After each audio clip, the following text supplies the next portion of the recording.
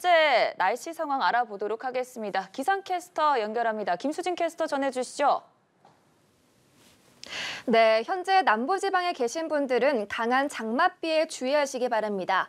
전북과 영남 지역은 호우특보 발효 중인 가운데 대구와 경북 지역은 시간당 30에서 50mm의 호우가 쏟아지고 있습니다. 오늘까지 예상되는 비양은 서울 등 수도권에 최대 20mm, 그 밖에 남부지방은 최대 100mm가 되겠습니다. 이미 많은 비가 누적된 만큼 추가 피해 없도록 주의가 필요하겠습니다.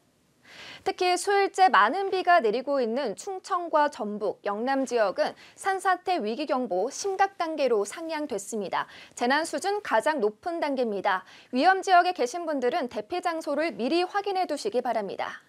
오늘은 비와 함께 강한 바람에도 유의하셔야겠습니다. 전국적으로 순간 초속 15m 이상의 강풍이 불어들겠습니다.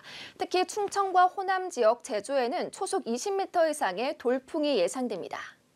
오늘 전국의 한낮 기온은 30도 안팎까지 오르며 무덥겠습니다. 서울의 낮 최고 기온은 31도, 대구도 31도, 광주 28도까지 오르겠고요. 습도가 더해지면서 체감 온도는 더 높게 느껴지겠습니다.